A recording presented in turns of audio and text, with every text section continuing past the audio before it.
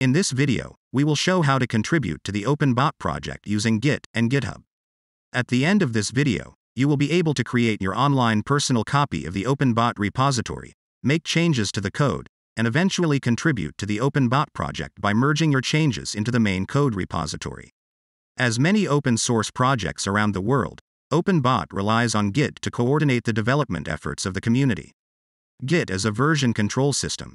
It allows multiple contributors to work on the same project and to keep track of the changes that were made in the code. Git is without contest the industry standard around the world. If you are not already familiar with it, you are strongly encouraged to check one of the many good tutorials available online. Some relevant links are provided in the description of this video. The OpenBot project is stored on GitHub. GitHub is an online platform that provides support for hosting code repositories. It is currently one of the most used platforms in the world.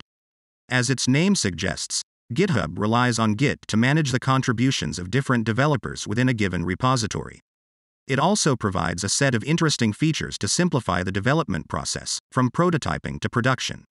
Creating a GitHub account is easy and free. Just follow the instructions provided by the website to get started. GitHub provides substantial storage space for your repositories. Be aware, however, that the size of a single repository should not in general exceed 5 gigabytes.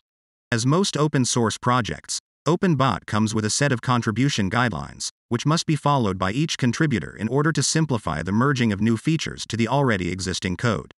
The contribution guidelines can be found in the root of the main directory. You should read them carefully. In GitHub, every project has an issues section, where every registered user can propose new features, document a bug, or simply ask a question to the community. To create a new issue, click on the New Issue button. You can then choose to tag your issue as a bug report, a feature request, or a general question. The first reflex when writing a new issue is to document it properly. For example, in the case of a bug report, it is of critical importance to give as much detail as possible about the context in which the bug was encountered so that it can be reproduced, understood, and finally corrected by the community. In the case of a new feature, you should explain in a couple of sentences why you think this additional functionality is relevant for future releases of the project and how you propose to implement it. For instance, how about giving OpenBot vehicles an interface to control a robot arm? When well documented, your issue will be rapidly reviewed by the project maintainers issues can be assigned by the project maintainer to a specific member or group within GitHub. This allows defining the people responsible for the development of a given feature to prevent overlapping. The first step in contributing to the OpenBot project is to fork the repository within your GitHub account. At the end of this process, you should get a full copy of the OpenBot project linked to your GitHub account. You can clone this copy onto your local computer using the git clone command. Note that you should clone the repository using SSH since password protected contributions are now deactivated.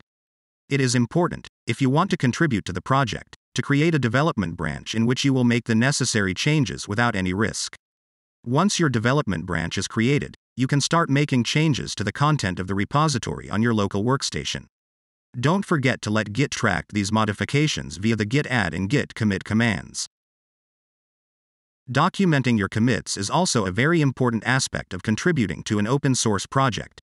It will make your changes easier to understand and track for reviewers. Once you have made the desired changes, consider pushing them onto your GitHub repository fork. Once done, you should be able to visualize your changes online using the GitHub interface. The development of a new feature is an iterative process, potentially consisting of a large number of commits, pushed periodically to the forked repository. The high commit granularity is desirable as it will make the process of reviewing your code much easier for the project maintainers. As a matter of facts, try not pushing 10,000 code lines in a single commit. Do this step by step, while at the same time documenting your changes in multiple smaller commits. Once your new feature is ready to be integrated into the main branch of the project, you can issue a pull request to inform the project maintainers that your code is ready to be reviewed.